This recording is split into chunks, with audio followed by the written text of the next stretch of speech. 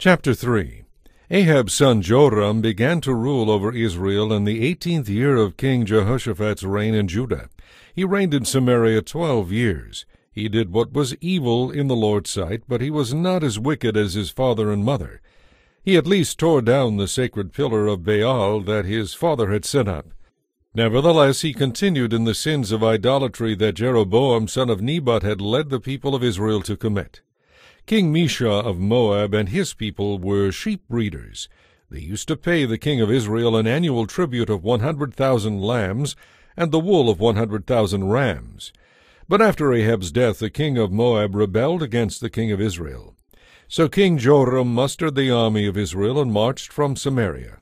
On the way, he sent this message to King Jehoshaphat of Judah. The king of Moab has rebelled against me. Will you help me fight him? And Jehoshaphat replied, Why, of course. You and I are brothers, and my troops are yours to command. Even my horses are at your service. Then Jehoshaphat asked, What route will we take? We will attack from the wilderness of Edom. Joram replied, the king of Edom and his troops joined them, and all three armies traveled along a roundabout route through the wilderness for seven days. But there was no water for the men or their pack animals. What should we do? The king of Israel cried out. The Lord has brought the three of us here to let the king of Moab defeat us. But King Jehoshaphat of Judah asked, Is there no prophet of the Lord with us? If there is, we can ask the Lord what to do. One of King Joram's officers replied, Elisha, son of Shaphat, is here.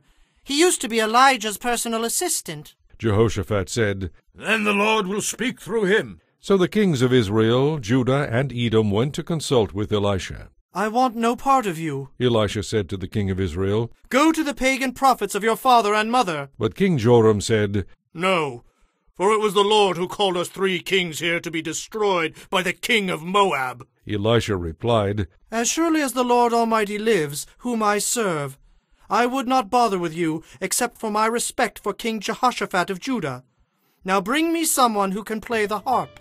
While the harp was being played, the power of the Lord came upon Elisha, and he said, This is what the Lord says. This dry valley will be filled with pools of water. You will see neither wind nor rain, says the Lord. But this valley will be filled with water. You will have plenty for yourselves and for your cattle and your other animals. But this is only a simple thing for the Lord, for he will make you victorious over the army of Moab. You will conquer the best of their cities, even the fortified ones. You will cut down all their trees, stop up all their springs, and ruin all their good land with stones. And sure enough, the next day, at about the time when the morning sacrifice was offered, water suddenly appeared. It was flowing from the direction of Edom, and soon there was water everywhere. Meanwhile, when the people of Moab heard about the three armies marching against them, they mobilized every man who could fight, young and old, and stationed themselves along their border. But when they got up the next morning, the sun was shining across the water, making it look as red as blood. It's blood! The Moabites exclaimed. The three armies have attacked and killed each other. Let's go and collect the plunder. When they arrived at the Israelite camp, the army of Israel rushed out and attacked the Moabites, who turned and ran. The army of Israel chased them into the land of Moab, destroying everything as they went. They destroyed the cities, covered their good land with stones, stopped up the springs, and cut down the good trees. Finally, only Kir Hareseth was left, but even that came under attack.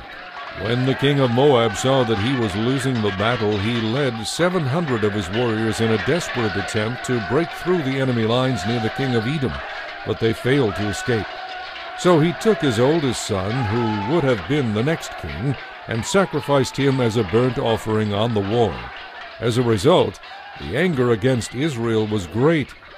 So they withdrew and returned to their own land.